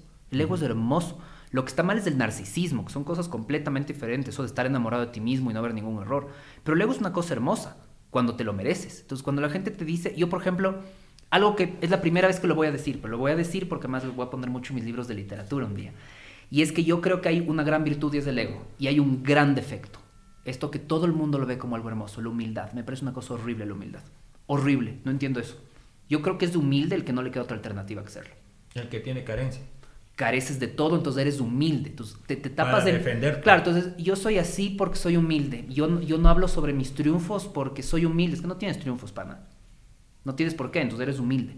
la humildad no tiene algo nada que ver con riqueza o pobreza, ¿no? Porque tú puedes ser un tipo absolutamente exitoso y pobre, no tiene nada que ver, depende de qué quieres hacer. Puedes ser un defensor del medio ambiente exitoso que vive con muchas carencias, pero eres exitoso. Eh, pero eso de la humildad me parece una cosa feísima. Entonces, cuando la gente a mí me dice, sé un poco más humilde, deja tu ego, tu ego te está nublando, es como que, ok, no, no, tengo, no sé qué responderles, porque siento que están convirtiendo a una virtud en un defecto y a un defecto en una virtud. Dime cuál es el halago más impresionante que te han dado, no necesariamente por el lenguaje, eh, puede ser por la persona, pero eso que, recuerdas y que engrandeció tu ego, pero porque lo merecías. Para mí los mejores halagos son los de mis alumnos. Es decir, cuando... Hay, yo he tenido buenos cursos y malos cursos, ¿no? Yo, yo, es más, y lo digo siempre, cuando empiezo un, nuevo semestre en la universidad, hay cursos de los que yo he detestado. O sea, grupos de estudiantes que me caen pésimo. Y se nota que me caen pésimo. Es, y hay otros con los que tienes una conexión total. Pero al final cuando te agradecen, cuando te dan una placa conmemorativa, es lo que más me alegra. Porque al final Dar clases, ahorita estoy con licencia porque ando por temas de trabajo viajando mucho. Verás, dar clases es un sacrificio que nadie entiende. Y nadie entiende porque es algo que he conversado recién con un abogado, que tengo mucha estima, que es civilista. Y le decía, el tiempo que yo le dedico a dar clases le podría estar dedicando a aprender un nuevo idioma, a leer un nuevo libro, a hacer deporte. ¿Por qué le estoy dedicando tiempo a desconocidos? Es una vocación es un sacrificio. Entonces, cuando de ese sacrificio se deriva en el halago de aprendimos, fuiste el mejor profesor, me inspiró a seguir la carrera, yo me iba a retirar, pero por usted me quedo, ese es para mí el mejor halago, cuando les logré enganchar en la materia, porque yo trato que mis clases sean divertidas. No sé yo si el día que sea padre voy a dejar de dar clases para siempre, porque ese tiempo que le dedico, que son muchas horas, a dar clases, creo que la voy a querer dedicar a mis hijos. Creo que, creo que ese va a ser mi punto final, eh, al menos en pregrado. En maestría voy a seguir dando, me encanta dar, soy profesor también de maestría, es otra dinámica, otro mundo pero el pregrado te exige todos los días, la maestría te exige módulos y temporalidades mucho más largas. Entonces, no quiero ser un papá ausente, ya, ya trabajo en exceso como para dedicar luego mi tiempo a, pregrado. Pero en maestría me voy a quedar, creo que hay que formar a los ya graduados también. Bien, para ir cerrando lo de los textos, ¿cuál es la metodología que utilizas? Pero quiero que seas didáctico, quiero que tengas en esta respuesta detalles. ¿Sabías que la vida está en los detalles? ¿Mm? Entonces, ¿Tú cómo haces para escribir? Entonces, ¿cuál es la atmósfera donde escribes? Para ¿Con qué escribes derecho, literatura? Porque la escritura es un ejercicio de encontrarse, indistintamente de que sea derecho o literatura. Vas a plantear, vas a ordenar, vas a ejecutar. Sí, pero hay una gran diferencia. Son para mí un mundo completamente diferente. Yo cuando escribo de literatura realmente me apasiono, me vuelvo loco. Eh, no lo hago en oficina, no lo hago nunca en Ecuador, rara vez lo hago en Ecuador, trato de estar afuera, trato de estar desconcentrado del mundo. Pero escribir literatura es un acto eh, pasional de absoluta improvisación. Entonces yo no, yo ya tengo mis dos novelas terminadas, pero que están próximas a publicarse, es una lucha por las editoriales. Eh, ¿Planeta te va a publicar? En eso estoy, ya estoy en el trámite, pero ahora hay que definir con Planeta, porque en Planeta hay Seis Barral, hay Tusquets, hay eh, Alfaguara, o sea, hay muchas cosas que definir aún. Pero ¿Y cuál es la que quisieras tú que publique en tu primera novela? Creo que se ajusta más al estilo Tusquets. Y mi segunda novela creo que se, es más tipo Alfaguara, porque cada una tiene su línea editorial. Presentía que ella iba a ser Alfaguara. Alfaguara. Em, claro, ahí es cuando voy a estar más orgulloso, ¿no? Eso es algo que me perdonarán los que leen mis libros de derecho, pero yo me encanta escribir libros de derecho para transmitir información a la gente. Pero mi verdad, cuando voy a estar así viviendo en una nube es cuando se publiquen mis libros de literatura. Se vendan o no se vendan, pero les de una librería voy a ser absolutamente feliz. Pero ese es un ejercicio de mero estómago, es decir, mis, mis personajes van creciendo solos, terminan haciendo cosas que yo no me esperaba que pase. Eh, me voy inspirando muchas cosas, pero si quieres detalles, yo soy un tipo de anotar muchos pensamientos. Yo a veces estoy caminando, eh, te, voy a poner un ejemplo súper básico, ¿no? el otro día eh, estábamos caminando con mi esposa en, una, en, en otra ciudad que ahí tenía metro y me decía, ¿por qué no vamos en metro? Eh, porque estamos caminando tantos kilómetros. Le decía, porque ya para estar bajo tierra voy a tener el resto de la eternidad, quiero ver la naturaleza. Dije, es una buena frase para un personaje. Va a, ser un va a ser un viejito neurótico a la que la otra viejita con bastón le va a decir, por Dios, vamos en transporte público por abajo de la tierra. Y va a decir, ya mismo me muero, ya voy a estar bajo tierra, quiero ir así. Esa mini frase ya es un diálogo. Y es una frase que hará reír a alguien. Y yo la noto. Y digo, solo noto la frase. Yo ya sabré qué personaje se la pongo. Entonces tengo notas del iPhone. Eh, debo tener, o sea, si le paso a Word algún día, debo tener 500 hojas de Word solo de frases que se me han ocurrido y las voy anotando. Cuando voy escribiendo y acabo un diálogo, voy a mis frases. Abro las frases y digo, esta encajaría bien en este diálogo. Descubro unas de que, qué buena frase. Y veo las fechas a veces de lo que pongo y digo, hace seis años puse esto, vamos a ponerle a este personaje este diálogo. Así voy escribiendo. Si hay cosas que tengo preparadas, pero no preparadas con un plan. El plan es, encajarán en algún sitio. Escribir derecho es diferente. No es un ejercicio pasional, es un ejercicio de pleno conocimiento. Es decir, quiero explicar lo que es una, eh, un allanamiento. Ya sé lo que es un allanamiento. Es el ingreso con orden judicial de la policía con la fiscalía a un domicilio privado con el fin de encontrar evidencias. Listo. Se pone eso. Es, es mucho más técnico yo no encuentro pasión a escribir derecho, es un tema mucho más sencillo y lo que hago, no lo he hecho últimamente porque he estado muy ocupado, pero lo voy a empezar desde la próxima semana a retomar y es escribir mínimo media hora al día, máximo una hora al día, tengo que darme el tiempo para hacer el segundo tomo, mi tratado procesal penal. Si no me pongo el tiempo, no voy a escribir. ¿Qué no me pasa con la literatura? En la literatura estoy en un avión y digo, quiero escribir un capítulo de esto. Y a veces me, me, me, pregunta alguien que está conmigo, ¿de qué libro? No sé, es un capítulo de un personaje que me acabo de inventar. En algún lugar encajará. Bien. ¿Has tenido suerte en el amor, Felipe? Sí, he tenido suerte en el amor. Me he ido bien. Creo que me he ido bien en el amor. Eh, en me he ido bien en el amor. Cuéntame, ¿cómo conociste a tu esposa? Puf, pregunta difícil porque fue mi alumna. Eh, fue mi alumna, pero nunca pasó nada mientras era mi alumna. Eh, ¿Pero qué te impactó? ¿Cómo se dio el romance? Si esto fuera una novela y tú tuvieras que escribir un capítulo... va a ser un personaje de una novela obligatoriamente. Es que lo que sucede con ella, yo conté por primera vez la historia, la gente no conocía el día de la boda, tuvimos una ceremonia atea y en la ceremonia... Ah, perdóname, ¿cómo es una ceremonia atea? Una ceremonia atea es cuando te casan tus amigos en un evento igual que siempre cuando la gente me dice, pero ¿cómo te vas a casar en una ceremonia donde no hay un cura? Es como que, es que yo no creo en el cura, yo creo que mi amigo me case. A mí me casó mi ex socio, Eduardo León, que ya no es mi socio, pero a quien quiero con todo mi corazón, y Paula Guevara, que es otra gran amiga de nosotros como pareja. Eh, y ahí conté la historia por primera vez. Y en, la boda. En la boda. O sea, mi mamá, por ejemplo, no sabía la historia. Fue como que, a ver, ¿cómo, es esto? ¿Qué pasó? Eh, pero es una linda historia, pero es una historia en la cual además yo adelgazo casi 9 kilos en esta historia. Dejo de comer por primera vez en la vida porque me enamoro de una alumna y yo sabía que no podía transgredir las reglas que además yo he luchado. Yo he luchado porque los alumnos y los profesores no estén juntos por un tema de poder. Para mí es muy importante que no se malentiende eso, porque muchas veces pues, ya son adultos, ¿no? En la vida universitaria son adultos. Pero media el poder. Y media tanto el poder que al final la nota de un alumno o de una alumna depende del profesor. Entonces, el punto es, la gente dice, pero la alumna quiere. Sí, pero quiere con quien tiene poder, quien puede ponerle una buena nota o una mala nota. El momento que tú ya quitas eso, al final tener una relación de pareja es ser pares. Cuando no eres par, el consentimiento está bastante viciado. Y yo nunca transgredí eso. Lo cual acarreó que me enamoré tanto, pero me enamoré perdidamente. También yo era mucho más joven, tenía 28, recién cumplidos los 28 años, ¿no? Era, ¿Pero qué te llegó a enamorar el cerebro, su cerebro. Me, me enamoré de su cerebro eh, es más, hasta ahora le digo que yo lamería su cerebro si es que un día lo tengo en carne viva, ¿no? Amo su cerebro, la considero absolutamente más inteligente que yo. Y me enamoré tanto que dejé de comer. Entonces bajé cerca de 9 kilos. La gente me decía, ¿estás ¿Pero por qué, no, por qué no comías? Porque sentías que no podías transgredir tus propias reglas. No comía porque perdí el hambre. O sea, tenía tantas ganas de escribirle, de acercarme, y no lo hacía porque no iba a romper las reglas universitarias. Además, soy un abogado súper respetuoso de la ley. Yo sigo las reglas, soy de esos de rajatabla. Yo aprendí a manejar a los 18 años. Mi papá me decía, quiero que aprendas a manejar. Y le decía, tengo 16. Sí, pero aprende. No, yo siempre sigo las reglas. Aquí seguía las reglas. Y el no poderme acercar. Pero dime el clic. ¿Cuándo hiciste clic que te diste cuenta? Estoy enamorado. El día que le vi. El día que ella entró a la clase. ¿Cómo estaba? Está ella con jean y una camiseta blanca. ¿Ya? Y esa clase, esto es una historia que contamos de una boda, yo llegué a la oficina, no era aquí la oficina, tenemos en otro lugar, en la Ventimilla, entré y le dije a mi socio, acabo de conocer a la mamá de mis hijos. Y se me dijo, no jodas. Pero además de interesante, era mi primer día como profesor. Nunca había tenido, nunca había dado clases. Entonces me dice, es tu primer día de profesor, no la cajes. Le dije, no, no, no la voy a cagar, tú sabes cómo soy. Yo no soy de los que se meten en esos escándalos, nunca. Soy, yo soy súper meticuloso para no estar en escándalos. Yo nunca doy papaya, pero dije, pero es la mamá de mis hijos, acuérdate de mí va a pasar. Y claro. ¿Y en qué semestre estaba?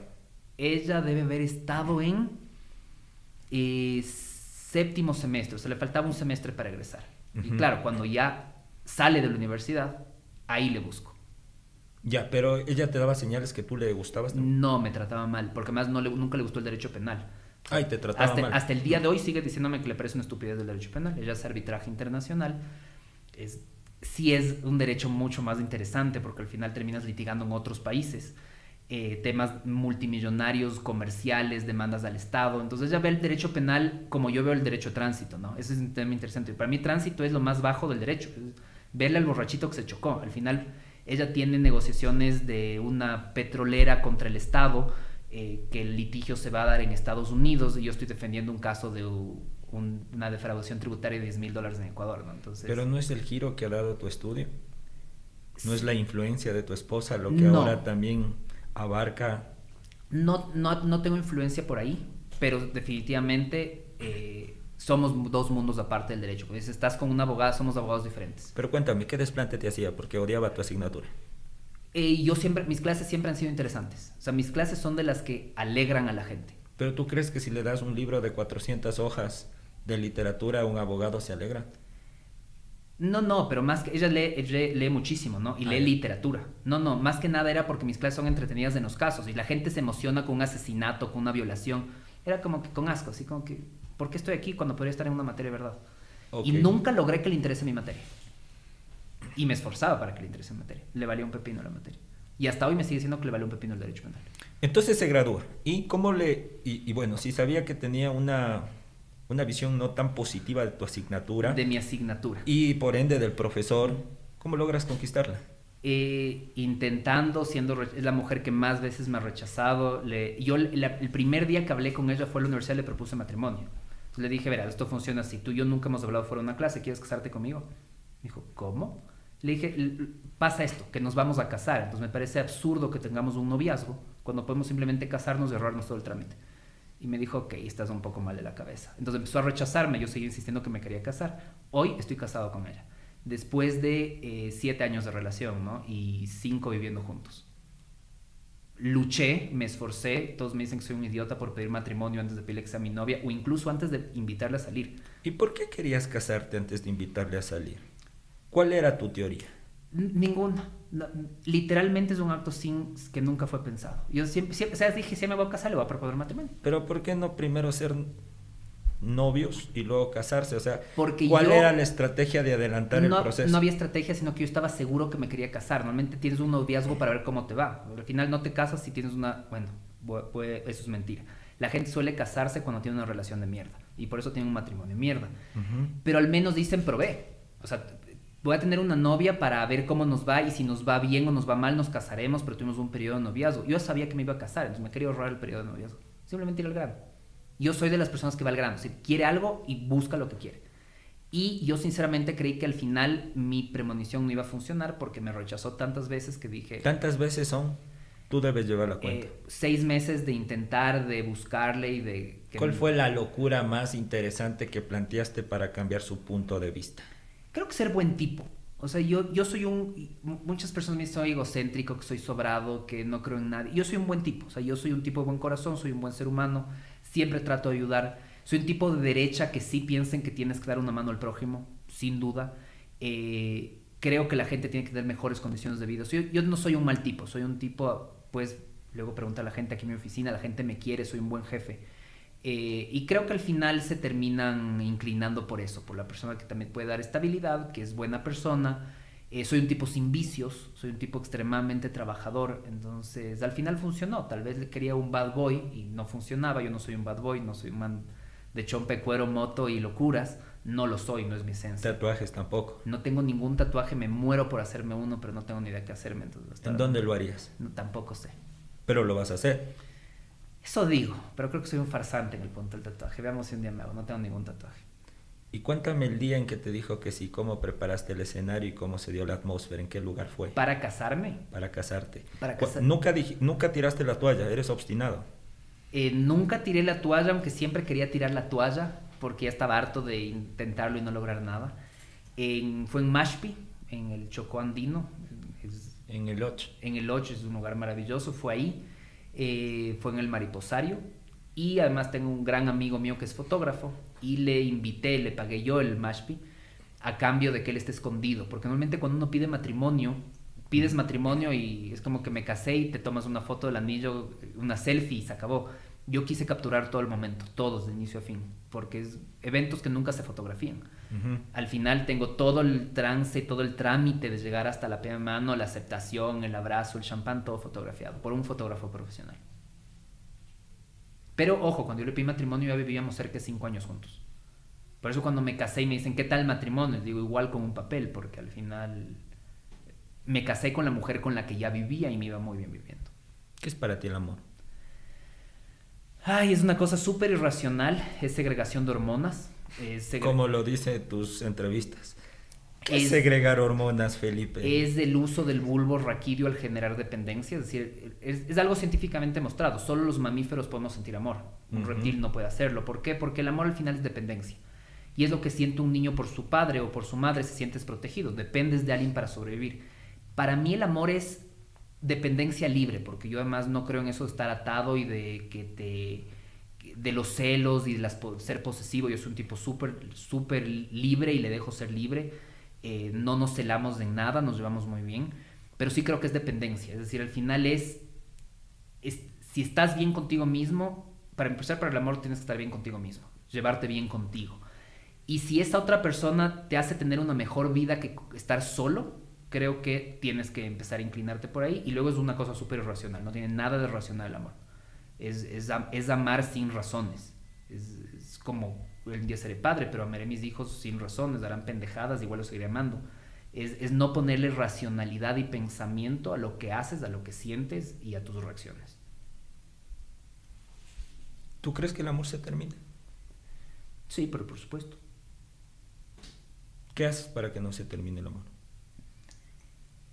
Eh, ¿Qué hago para que no se termine el amor? De pareja, el tuyo. ¿Cómo lo construyes? ¿Cómo lo edificas en medio de una vorágine de vida donde escribes, donde tienes una firma jurídica, donde viajas?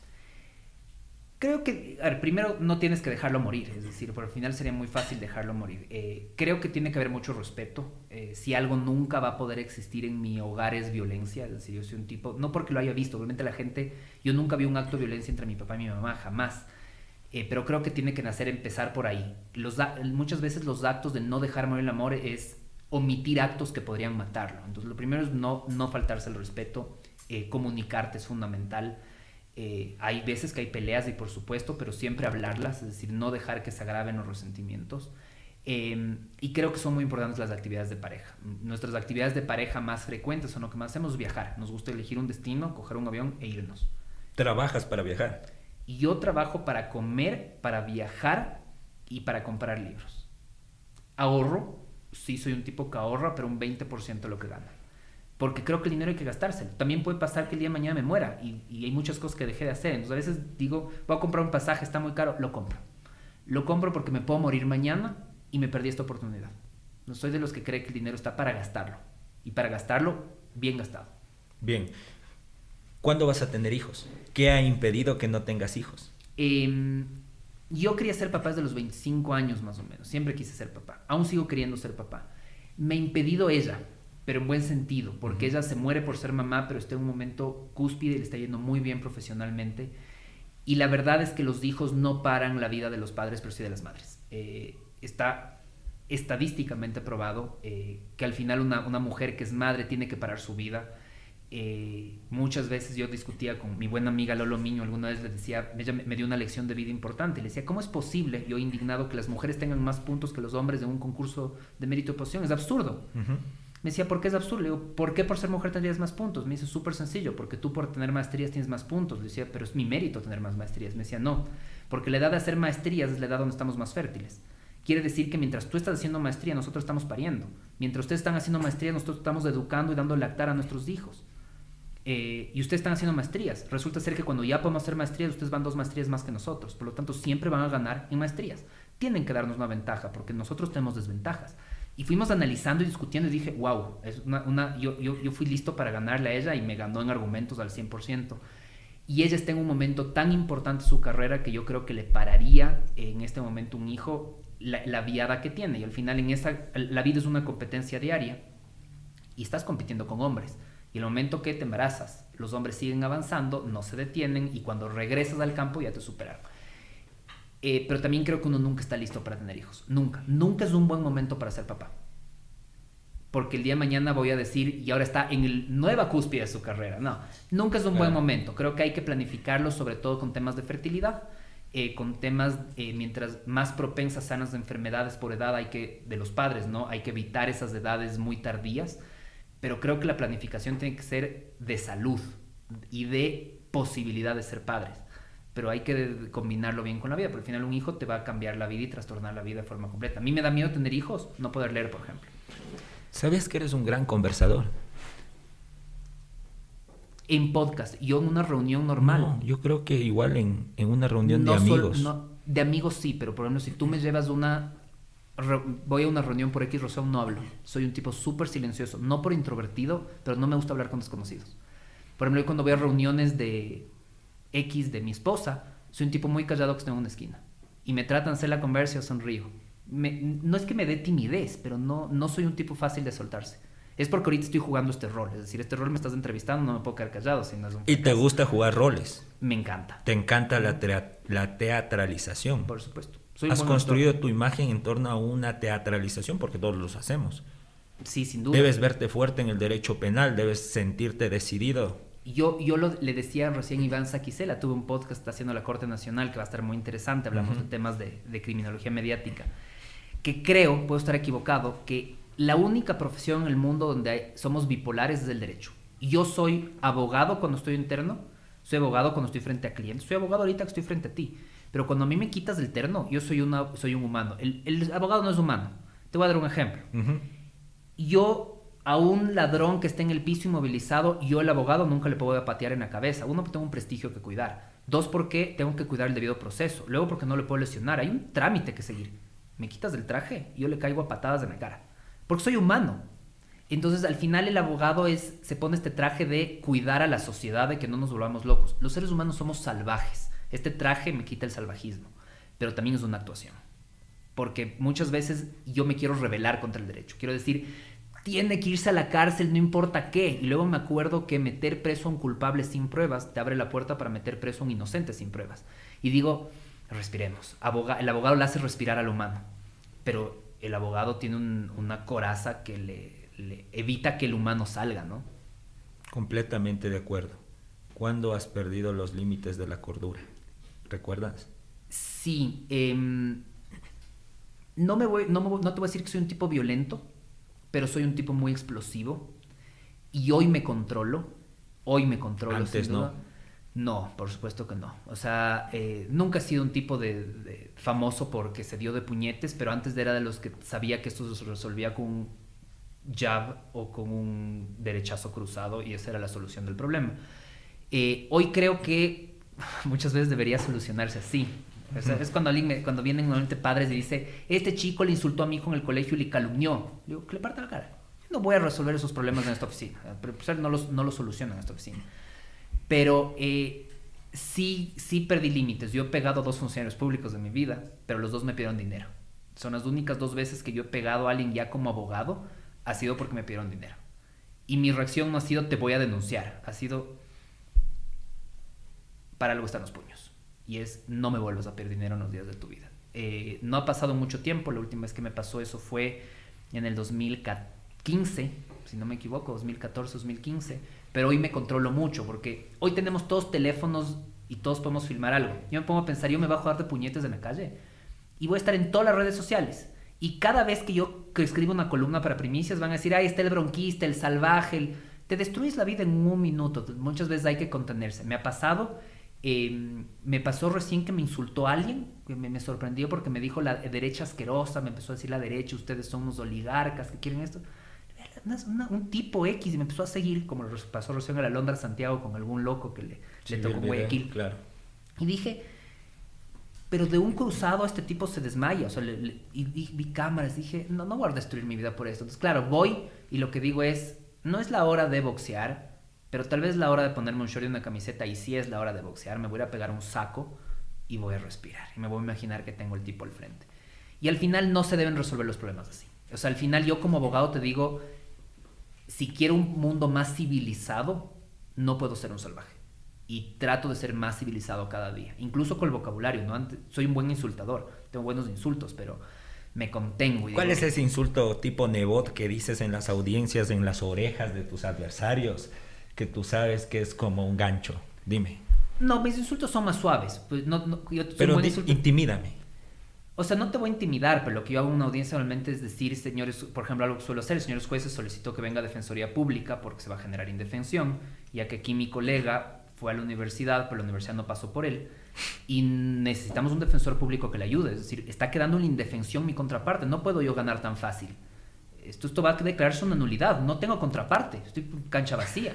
Entonces, te lo digo un poco más Con agresivo. guante blanco, claro, con más actitud. con- ajá, es como que, y, y- y cuando los jueces me dicen respeto, le digo, es que por favor estoy cuidando el debido proceso. Ayúdeme usted a que el proceso sea limpio, esto es sucio, me siento, me siento un abusivo. y claro, el abogado al otro lado ya se baja. Y claro, es me dicen, oye, se te fue la mano. Sí, sí, a veces me rayo y digo cosas que no debo, son abogados que no me vuelven a hablar nunca más en la vida y me odian hasta hoy, y que me ven en la calle y me ven con odio, pero tengo que decirles, suelo usar mucho la palabra pendejo. A veces que algún abogado me ha dicho respétame, digo no respeto pendejos. Y es como que, oye, qué, qué agresivo eres. No, solo le dije pendejos, relájense. Pero sí soy un tipo que dice las cosas como son.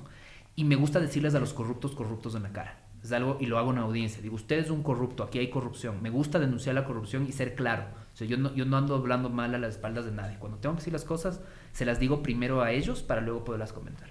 ¿Te sientes un abogado de pasarela? Eso es mi mayor miedo. Y eso es algo por lo cual yo dejé de coger casos mediáticos. No sé si yo llevo varios años sin tomar casos mediáticos. Tengo algunos que son mediáticos, pero no me dejo entrevistar por los casos. Pero te sientes popular. Sí, me siento popular, pero es el peor pecado que puedo cometer porque yo quiero que me reconozcan por mi conocimiento y no porque soy bueno en cámaras. Entonces al final, lo digo sin problema, por ejemplo, Vanegas, que es este abogado del sombrero de Guayaquil, nunca, nunca he tenido un problema con él, no sé si es buen abogado o no, pero al final la gente lo reconoce porque sale en brazos, le hacen caricaturas, está con su sombrerito. Yo no quiero que me identifiquen así, yo me quiero que me identifiquen porque escribo libros, porque soy catedrático, porque soy muy bueno en audiencias, porque trato de ser profundo en lo que hago y por eso le estoy huyendo a los casos mediáticos. No es la forma en la que quiero ser identificado. Al principio sí, ¿no? Me encantaban las Pero tienes un imán para lo mediático. Sí, pero ahora las trato de evitar. Por ejemplo, estoy ahorita en un caso, es más, ni siquiera voy a decir para que nadie se entere en cuál. Pero cuando hay medios de comunicación afuera, yo me espero o me salgo por una puerta atrás para que nadie me vea y nadie me pueda entrevistar, porque no quiero que me entreviste. ¿Sientes que has llegado al cenit de tu profesión, de tu carrera? Estás en un estudio, tienes éxito, columnista, catedrático, escritor Creo que todo esto tú te lo propusiste cuando estuviste en la universidad o cuando estabas en el colegio. Tú has trazado a dónde quieres llegar. ¿Qué te falta? Sí, creo que sí. O sea, creo que estoy en un muy buen momento en mi carrera, pero creo que no hay que darlo por sentado. Y eso es uno de los grandes errores de muchos abogados, de mucha gente exitosa. Porque así como hoy me va bien, hoy tengo un estudio jurídico muy grande. Eh, ¿Es el más grande? ¿O, es, es, muy grande? En, penal seguramente somos los más grandes. Eh, ¿Son los mejores? No necesariamente. Sabes que yo me gusta decir que somos los mejores, pero mentiría, porque yo a mi competencia le quiero. Yo siempre digo que quienes son mi competencia son gente a la que yo quiero. Mi competencia no son los abogados de narcos, mi competencia no son los abogados corruptos, truchos, ellos no son mi competencia, ni siquiera tenemos el mismo tipo de clientes. Mi competencia está definida, somos pocos estudios jurídicos, me llevo muy bien con ellos eh, y suelo, suelo, dar sus nombres, no tengo problema. Señores clientes, si no quieren venir a mí, vayan por fuera ellos porque van a tener abogados honestos. Me refiero a Quito exclusivamente en este caso. José Molina Gallegos, un tipo de primera que nunca va a corromper a nadie. Eh, Pablo Encalada con Grund es un gran, gran, gran abogado. Eh, Juan Pablo Albán, que está de regreso, y me alegro mucho que esté de regreso, es un abogadazo, le tengo un respeto enorme. Y así te puedo ir dando nombres de Rigor, y es un estudio jurídico que está creciendo muchísimo, que son gente buena, gente joven, gente con, muchas ganas de, de hacer las cosas bien. Entonces no sé si soy, somos los mejores, porque cuando me toca con ellos tengo que estudiar el triple, me estreso, sufro. Pero tú, sientes que son los mejores. No, creo que estamos dentro de los mejores. ¿Cómo puedes ser el mejor si no lo sabes que eres el mejor? Eh, creo que me falta, porque... ¿Qué te falta? Me falta edad, porque si voy de los que te he mencionado, yo soy el menor de todos. ¿Y eso no te hace ser el mejor en tu categoría? Y no es el Pero es que no tengo nadie más en mi categoría de edad. O sea, si esto fuese una pelea de box por edad, no tengo quien se suba al ring. Yo estoy compitiendo con ellos. Entonces, habrán meses que ellos facturen más, meses que nosotros facturemos más. Yo creo que en tamaño hoy soy el más grande en penal económico. Eso es importante diferenciar, ¿no? Hay estudios jurídicos que hacen penal narcotráfico y tienen 60 abogados, pero están dedicados únicamente al mundo de las drogas. Yo no compito con ellos. Yo estoy en mi mundo penal económico, pero no ser más grande quiere decir que eres el que más factura o el que más clientes tienes necesariamente. Eh, pero creo que no hay que darlo por sentado, porque el día de mañana me pueden pasar muchas cosas. Puede venir un gobierno que, que me lance el SRI encima y que pese a que no cometí ningún delito, veas un allanamiento en mi oficina, yo he esposado mi reputación en el piso, la gente cuando yo hable o diga algo va a sacar una foto mi esposada, y aunque sea inocente y me declaren inocente, quede destruido. Y me tocará empezar a cerrar las puertas. Eh, entonces yo me gusta no darlo por sentado. Eh, siempre acordarme que el día de mañana no puedo perder absolutamente todo. Por eso me gusta vivir el día a día. Hoy ha sido un buen día de trabajo, hoy nos ha ido bien, hoy todos hemos estado felices, pero mañana tal vez acaba todo. Y hoy hemos tenido un gran podcast. Y hemos tenido un gran podcast. termina muy bien el día. A ver, vamos a hablar de mentores, porque nadie se hace solo. Definitivamente. Concordarás conmigo. 100%. Cuéntame, tú tienes un gran mentor eh, perdón si me equivoco el nombre, ya no tengo la misma. Soy muy bueno para la historia y para las fechas y para los recuerdos y los olores. Ricardo Vaca. Ricardo Vaca Andrade. Vaca Andrade. Le dices maestro de maestros. Le digo maestro, maestro, se lo digo siempre. Es más, el primero de septiembre, hace que son seis días, cumplí ocho años de ya no trabajar con él. Y le mandé un mensaje, le dije, maestro maestros, hoy se cumplen ocho años desde que usted y yo ya no trabajamos juntos. Le extraño todos los días y cada triunfo mío sigue siendo un triunfo suyo. Yo le debo todo lo que soy, siempre se lo recuerdo. Le tengo una gratitud enorme. Cuéntame, ¿qué es lo principal que él te enseñó? Porque un mentor es una persona que ha recorrido el camino y sabe cómo guiarte. ¿Qué es lo que más valoras de ese maestro? Él me enseñó algo que yo tenía miedo. Yo tenía miedo de que esta profesión sea imposible de ejercer si no era de forma honesta. Eh, dije, ¿cómo? El, el cuadro está podrido. Y mis años con él fueron increíbles. Vi cómo se gana sin coimar, vi que es posible y es el lineamiento que yo he tenido toda mi vida. Si hubiese tenido que coimar alguna vez, hubiese dejado la profesión. El día que yo tenga que dar un centavo me retiro. No, no, no, no podré seguir. Pero me enseñó que se puede litigar honestamente, pero más me enseñó que se puede litigar con profundidad. Eh, muchos abogados cuando tú ves una audiencia gritan, se inventan cosas, dicen cosas que nunca pasaron, se inventan que el testigo dijo lo que no dijo. Vi un hombre técnico, un hombre que siempre actuó con la verdad. Cuando sucedía A y B, él hablaba sobre A y B y analizaba con profundidad, incluso filosófica, lo que pasó con A y B. Y vi que eso daba resultados. Pero además le agradezco que él me dio vitrina. Es decir, si bien yo me, yo me debo mis, mis méritos a mí, porque si no, no trabajaría cuanto he trabajado, me he esforzado, he estudiado lo que he estudiado, yo creo que sí llegaba sin él a donde estoy hoy. Pero a los 55 años más o menos. Hoy tengo 35. Él adelantó 20 años de mi vida. Eh, ojo, digo, llegaba en el éxito profesional, pero no sé si en el éxito humano. Yo creo que él me humanizó mucho más como abogado. Es un tipo que a los 65 años, después de ejercer 40 años la profesión, seguía siendo un tipo humano, en un mundo donde los abogados estaban deshumanizados. Y también me enseñó que el día que yo pierda la humanidad, tengo que retirarme al derecho, porque no valgo como abogado. Valgo como lagarto, como son los abogados, pero no como persona. Eh, curiosamente, el doctor Vaca, por ejemplo, es el gran maestro también de José Molina, que es mi competencia, también lo formó él. Eh, y se lo debo eso. Entonces siempre me acuerdo, más muchas veces cuando ganamos algo nos va bien, cuando esta parte que estás de la oficina está ampliada, ahorita estamos ampliándonos otra parte para allá, cuando ampliamos esto, inauguramos esta sala de reuniones, dije, le debemos a Ricardo Bacandrade, nunca lo olviden, esto es lo que él hizo nosotros. Si él no hubiese estado en mi vida, esta sala de reuniones tal vez estaría existiendo nunca porque me habría jubilado porque me dediqué a la literatura. Entonces, hay que reconocerle al maestro lo que fue. Tengo cero quejas, fue maravillosa mi época con él. ¿Otro mentor que recuerdes? Eh, Miguel Polay North en el plano académico. Eh, ¿Por qué es importante? Porque él fue mi director de tesis doctoral, él fue el que me incentivó a hacer el doctorado, el que me metió a escribir más libros, es decir, ha sido como que el gurú académico, él no es un abogado litigante, es un académico 100%, pero ha sido un tipazo conmigo. Ha sido mi, el que me abrió las puertas de Sevilla, el que se ha encargado que yo pueda a veces dar conferencias, clases, reemplazarlo en algo en la Universidad de Sevilla. Ha sido un tipo que se, ha creído muchísimo en mí, eh, que me dice mijito, hasta el día de hoy me dice mijito, yo le digo el puto Dios, así nos mijito, puto Dios, así lo tengo grabado en el ¿Por qué es el puto Dios? Cuando hace referencia a eso, él, valora su inteligencia. El es el puto Dios, pero hay un chiste de abogado, de un chiste de la vida real de, penalistas alemanes que están discutiendo y terminan concluyendo que Jacobs es un gran pensador alemán, es que es el director de tesis doctoral de Miguel Polenortz, es Dios. Eh, es, es, una broma que se hace en universidades alemanes. Y Polenortz, que es un tipo egocéntrico, dice, Jacobs es Dios, pero yo soy el puto Dios. Y en verdad es el puto Dios. Es un, es un tipo genial, es un tipazo, es un, tiene la biblioteca más hermosa del planeta Tierra. Entras a su departamento en, en Sevilla y dices, no puede ser que esto exista. Eh, y es un poeta y un, es un poeta increíble. Entonces lo, adoro yo, al, puto dios Poli, que también le suelo decir así. Eh, y él es mi otro mentor. A él le debo mi parte académica. Cuando tú ves mi hoja de vida y ves todos esos títulos, esos, esos Polay Nords. Cuando es mi éxito como litigante es Ricardo Bacandrade. Cuando ves los títulos es Polay Nords. Tuve, tuve, tuve, siempre tuve alguien que creyó en mí. Y eso es importante no olvidar. Tú estás trabajando para construir. ¿Sabes que la trascendencia de un ser humano a mí me gusta mucho el liderazgo, está en formar, así como te formaron.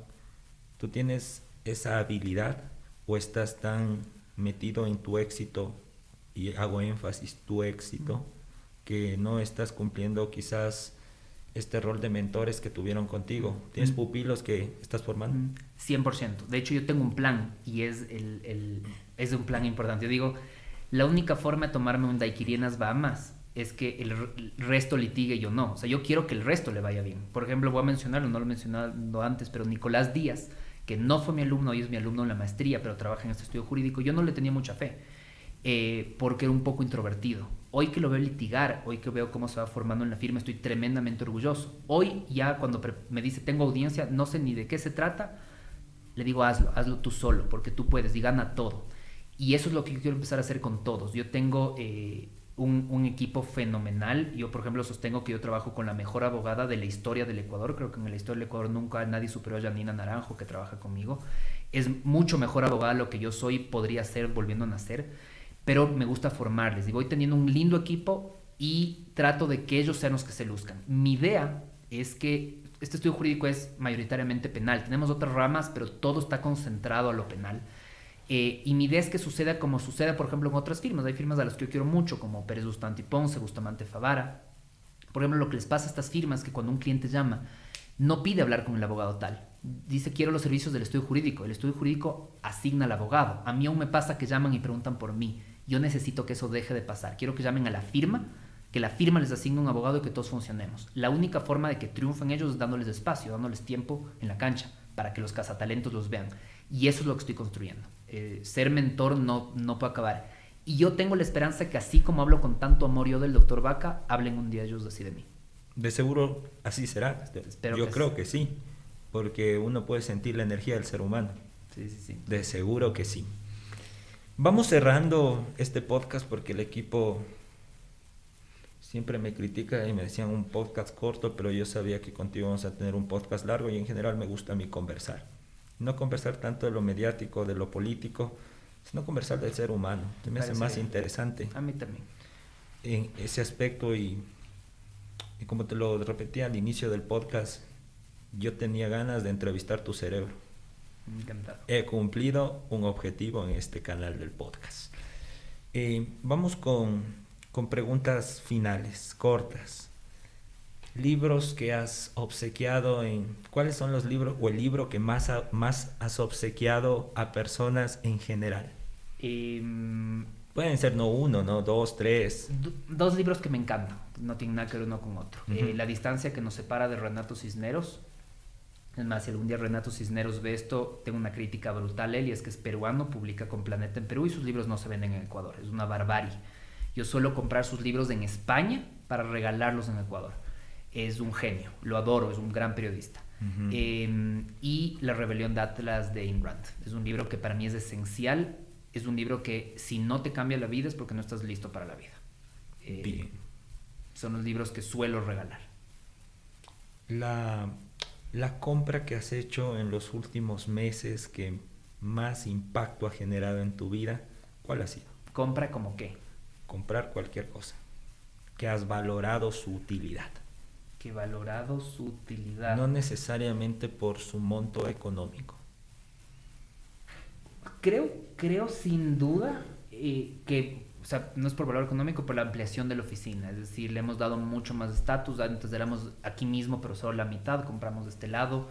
Em, porque además yo cuando fui pasante, y te voy a decir cuál es la utilidad, yo cuando fui pasante sufría mucho el trato al pasante. El pasante le pagan mal, yo ganaba al principio 71 dólares al mes te dan unos cubículos sucios, mugrientos y todo es feo. Yo trato de que todos aquí tengan una buena vida. A veces me dicen, oye, con el espacio que les das a los abogados, a los pasantes, entran el doble. Les estás dando mucho espacio. La idea es que también el ejercicio de la profesión tiene que ser digna. Entonces, yo siento utilidad cuando ya me quedé chiquito y veo la sonrisa de los abogados recién graduados que ya tienen su oficina. Y es chistoso. Para mí el concepto de oficina es tener puerta y basurero. Si ya tienes puerta y basurero, ya tienes oficina. El, el pasante está en un hueco metido, sin privacidad, sin nada.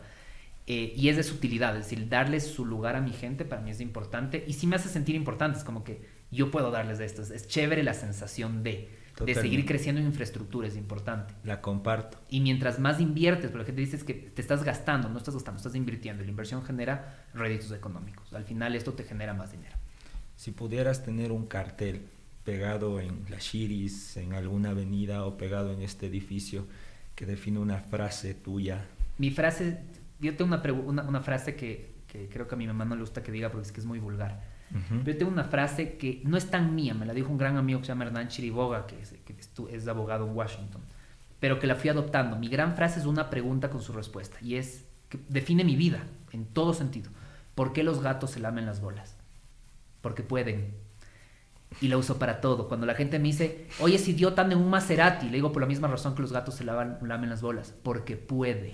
Deja de ser acomplejado. Oye, ¿tú por qué te crees mejor que los demás y andas eh, y te pones unos lentes de colores?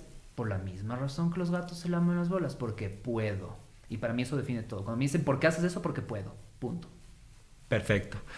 Felipe, te agradezco infinitamente. Realmente podría conversar horas de horas contigo. Se me quedan muchos, muchos temas, muchas preguntas. Prometo que leeré tu curso de Derecho Penal en sus tres tomos que me quedo pendiente y el libro de la libertad de expresión. Ya te traigo ahorita. Para, para tener en la biblioteca. Soy un gran amante de las bibliotecas. También invierto compulsivamente en comprar libros porque creo que cada vez que leo un libro o compro un libro no solo aumenta mi nivel cultural, pero también mi nivel económico. Y solo así puedo liderar un proceso de transformación educativa. Creo que este es el equipo generacional más importante que tiene el Ecuador. Actualmente nos están queriendo destruir porque, claro, el Estado quiere destruir los proyectos que quieren transformar, pero seguimos optimistas de que se pueden hacer cosas, porque si no, ya mejor vamos a optar por tu plan de irnos fuera del país te agradezco mucho, sé que tienes una agenda compleja y he valorado mucho el tiempo que nos has brindado para poder conversar contigo. Muchas gracias de todo corazón. Disfruté mucho, así que que se repita. En 10 años hacemos el 2. Bien, espero que... ya el escritor de literatura, no la Espero que sea antes. Cuando lances tu obra, invítanos porque la leeremos. A toda nuestra comunidad pedagógica, eh, es un gran profesor, tiene métodos muy particulares, pero sin duda los resultados siempre son halagadores. Hemos tenido una conversación muy enriquecedora, siento que hemos tocado mucho de la parte personal de Felipe y era el objetivo de este podcast. Nos vemos en una próxima oportunidad, siempre deseándoles que tengan éxito en todo lo que emprenden.